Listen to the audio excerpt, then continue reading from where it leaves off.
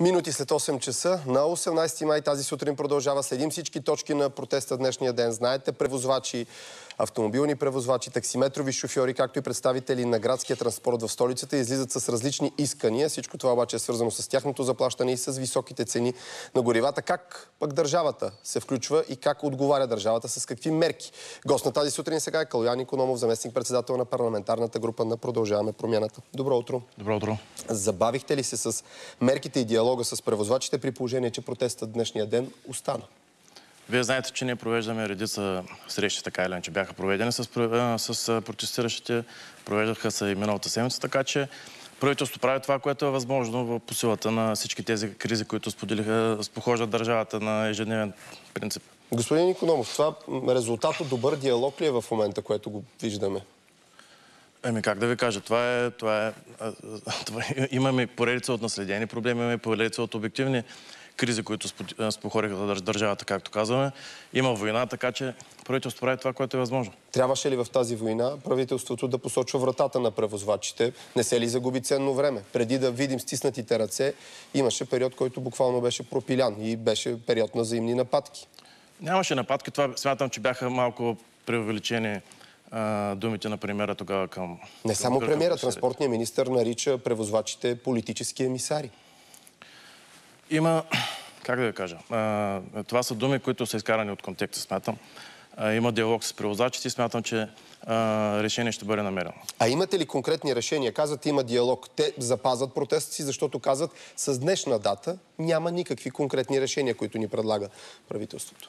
Както знаете, мерките ще бъдат обявени по-късно в Министерска съвет антикризисните мерки на правителство, които са в посока решаване на обективните проблеми и помагане на най-уязвимите слови на населението. Има ли конкретни обаче за превозвачите, защото там са мерки насочени към уязвимите групи и въобще към бизнеса за високите цени на електроенергията? Тук има конкретни искания. С колко от тях ще се съобразите? Това аз не мога да коментирам. Това ще коментират Министерски съвет. Както знаете, аз съм част от, от Народното събрание.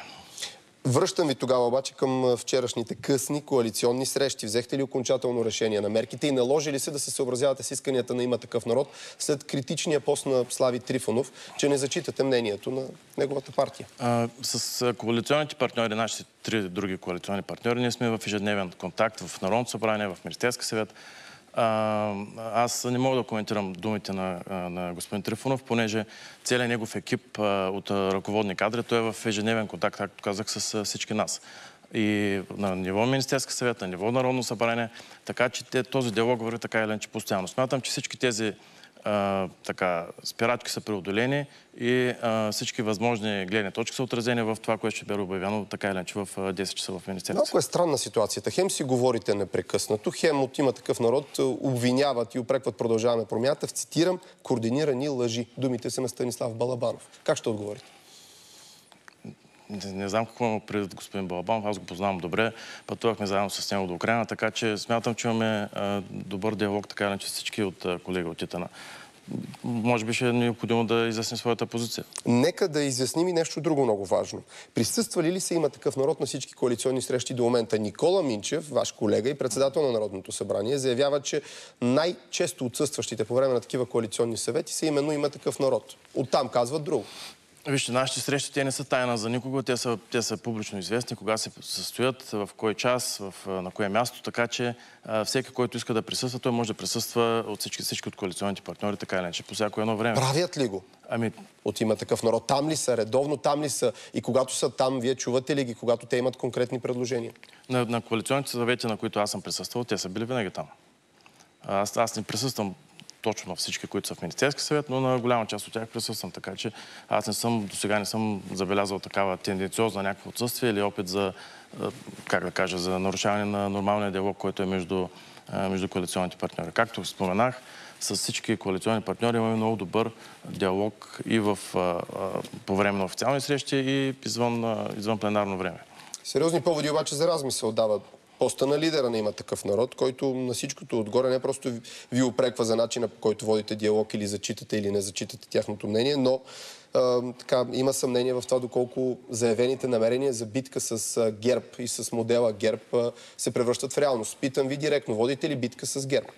каквато сте заявили още преди да станете част от Ние водим битка с ГЕРБ ежедневно, с наследството на ГЕРБ и с практиките на ГЕРБ, които бяха установени, заради които всички ние това, тази, тази голяма част от това коалиционно правителство всъщност се намираме в парламента с опит да, да сложим България на ни други правови и почтенни начала. Спазвате ли обещанието всеки ден да осветлявате по една далавера на ГЕРБ? Опитваме се. Както знаете, има така или иначе, когато, когато това правителство беше формирано, нямаше някои от обективните международни кризи, които се случиха. Никой не планираше, че ще има война, която ще промени всичко, целият контекст на, на Европа в економически план и в всеки друг план всъщност. А имате ли кадри на ГЕРБ в кабинета? Вече с конкретни а, така, позиции се говори във вчерашния ден. Пак Станислав Балабанов, за когото говорихме. А, вижте, аз а, искам нещо да поясня. Така, основна теза в, нашото, в нашия прочит на, на дарен човек, дали той е подходящ или не на зададена позиция, е винаги било дали той е експерт дали той има съответните качества необходими, за да осъществява това, което се очаква Очевидно обаче става повод за атака от страна и то на ваши партньори. Кажете ни, има ли представители на ГЕРБ, хора, които са били част от младежките структури на ГЕРБ и хора, които са били началници на кабинети, на министри от ГЕРБ? Къде да се намират? Те се намират в Министерски съвет или в... Да, говори се сега за вице-премьер. Един от вице-премьерите. Вие може да ни кажете кой е. Той знаете ли, познавате ли биографията на вашите колеги? Аз, аз не го познавам лично този, този, който визирате. Не знаете да има такъв човек. Не, не знам, аз пак казвам, тук целта не е да, да правим лов на вещици и да, и да, да хвърляме обвинения към, към хора. Вижте, нашия план, нашия проект специално продължаване промената, вие знаете, че е на нали, половин година, грубо казвам. А, а, нормално е а, всеки или голяма част от българите да са имали други политически виждания в, тази, в този спектър на политическия живот преди нашата поява. Така че да, да, да, да слагаме или да махаме хора само за това, че те са а, били към, принадлежали към дадена партия, смятам, че това не е нашия стил, това е стил на преждеуправляващите. Ама стила пък на има такъв народ ли е се да търсят и да вадят на показ подобни неща. Ако си спомним добре, именно има такъв народ, зададоха темата с двойното гражданство на Кирил Петков. Нали така беше?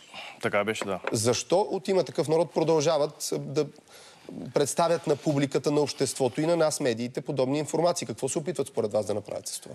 Аз какво се опитват да направят, не мога да я кажа. Мога да я кажа това, което съм казвал и в друг път, че а, това е техния стил. Те, те така са решили, че е правилно такава поведение, такава риторика да, да упражняват. В крайна сметка диалога и а, а, как да кажа, диспута вътре в самата коалиция, смятам, че е добър за, за цялото общество, така или иначе. Защото колкото повече гледни точки са отразени в вземането на дадено решение, толкова по, а, така, как да кажа, по-устойчиво по, е то на всякакви други сътресения.